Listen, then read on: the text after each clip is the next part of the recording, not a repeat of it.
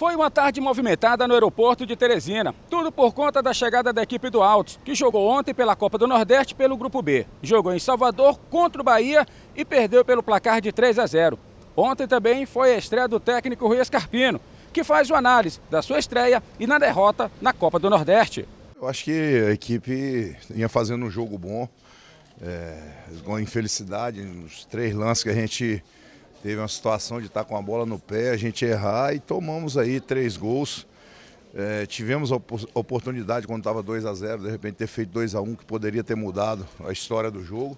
Depois do jogo contra o Bahia e a derrota na Copa do Nordeste, a equipe do Altos agora entra na maratona. Pega embarque direto para Parnaíba, onde vai encarar o Tubarão pelo Campeonato Piauiense. E na próxima quarta-feira, aqui em Teresina, vai jogar contra o Flamengo também pelo Campeonato Piauiense. O técnico Rui Escarpino deixa bem claro em sua entrevista que esse é o momento da equipe descansar e poupar alguns jogadores. Vamos ter que descansar aí parte do grupo esse jogo, revezar um pouco o elenco, porque agora vai ser jogo em cima de jogo, não tem tempo de descanso. E se a gente não fizer essas mudanças, a gente vai acabar perdendo atletas por contusão e por um tempo maior. Então agora é o momento da gente analisar, revezar um pouco esse grupo aí, para a gente poder aí seguir aí dentro do do, do, do trabalho, agora procurar manter no aeroporto de Teresina também, quem chegou foi o novo técnico do River, Eduardo Húngaro. Ele chega falando da expectativa em trabalhar no Nordeste e dirigir a equipe do River. A expectativa é a melhor possível, a impressão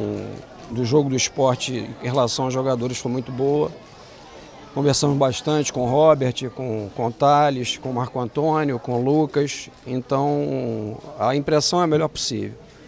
A gente precisa de tempo, né? O futebol precisa de tempo, mas o mais importante hoje não é a minha apresentação, é a vitória amanhã em cima do Flamengo. Eduardo Húngaro também deixa claro que não só ele, mas muitos técnicos do Rio de Janeiro queriam fazer parte do futebol piauiense em dirigir a equipe na Copa do Nordeste, na Copa do Brasil, no Campeonato Brasileiro e também no Campeonato Piauiense. Eu estou muito feliz, muito motivado de estar aqui. É, é um centro muito importante no futebol. Então a motivação é grande e vai haver muito trabalho, pode ter certeza disso. Eduardo Ungra ainda não sabe se vai ficar na área técnica no jogo de amanhã. O certo mesmo é que River e Flamengo entrarão em campo pelo Campeonato Piauiense. Jogo que está marcado para as 5 horas da tarde de amanhã no Estádio Municipal Lindolfo Monteiro.